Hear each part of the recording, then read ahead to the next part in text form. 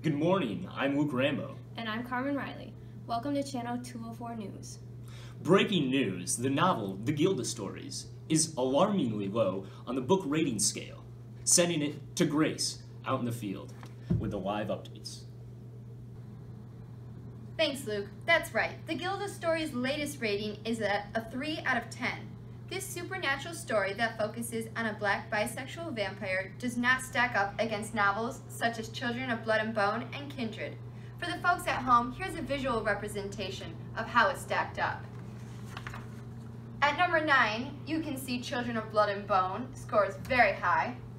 Kindred is at a solid 7. Bloodchild, the short story we read at the beginning of the semester, is at a 5. And then all the way at the very end, at number 3, is the Gilda Stories. Back to you guys. More on the developing story, Channel 204 News has recently received what the critics are saying about this book. The first complaint we heard from readers is that the characters in the novel are grossly underdeveloped and oftentimes short lived and easily forgotten. The briefness can be seen with Samuel and Aurelia, and the underdevelopment can be seen with the lack of identity in the main characters like Bird. Additional critiques on the characters themselves is the lack of connections they create with the reader. Readers were found to have little emotional investment regarding the short-lived characters. We are getting word that there is a developing story. We will send it out to Grace in the field.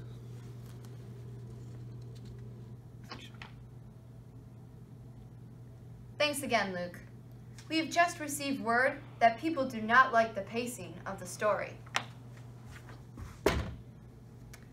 Though it was purposely written in a style to jump from time period to time period, the way Gomez, the author, had executed this style made the story abrupt and not flow well at all, furthering the disconnect between the plot and its characters. Sending it back to you guys. Next, we have a new segment with Grace. What's those quotes?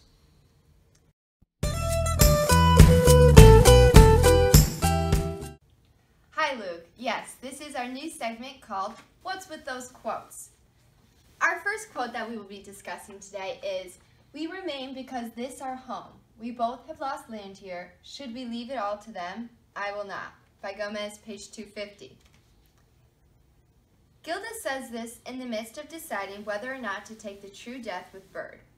So while this is a pivotal moment in the character growth of Gilda becoming independent from Bird, its impact falls flat due to the strange diction and grammar Gomez utilizes. We remain because this our home should be we remain because this is our home. The incorrect English used is a distraction to the importance of the moment. This is our second set of quotes from the Gilda stories.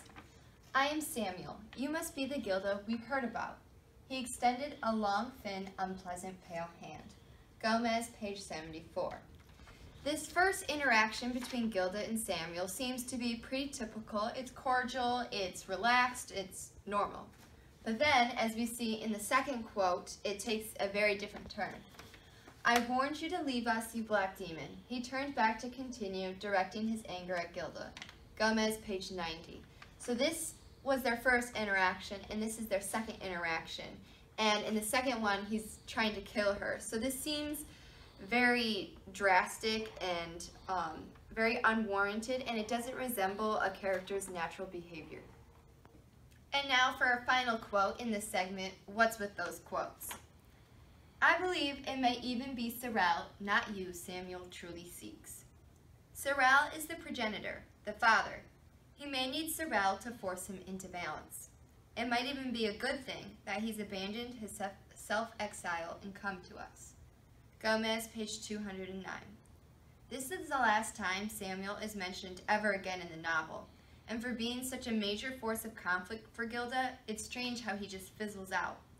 In this quote, Anthony talks about how this is a problem between Sorel and Samuel to fix, but ne Gomez never closes this, and his character is left open-ended. And while it is customary for authors to leave things open and up to interpretation, the lack of detail and background in general doesn't leave a bigger message for the reader to ponder, Rather, it just leaves us confused.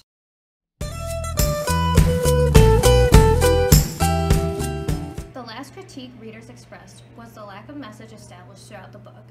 There were many topics explored and discussed, but there really was no clear message due to the lack of consistent focus and the vague ending of the novel. To get additional details on the author, we're going to send it to Aaron. Thanks, Luke, for some background details on the subject matter. We would like to emphasize that this is Gomez's first novel, and at a first glance, the novel shows many promising themes, but the way that she has executed it is extremely poor. As a black lesbian herself, she attempts to explore or show her experiences as a minority, but due to the lack of character development and critiques said earlier in the broadcast, the novel has failed and created a major disconnect. What the author does bring to the table, however, was a unique view. It was the first vampire novel to actually portray vampires with a sense of humanity. Gomez also wrote this before vampires were extremely popular. In her attempts to explore her own experiences, she sheds light on social acceptance of the LGBTQ community. Back to you. And that is all on the recent developments of Gilda Stories. Thank you for watching. This is Channel 204 News.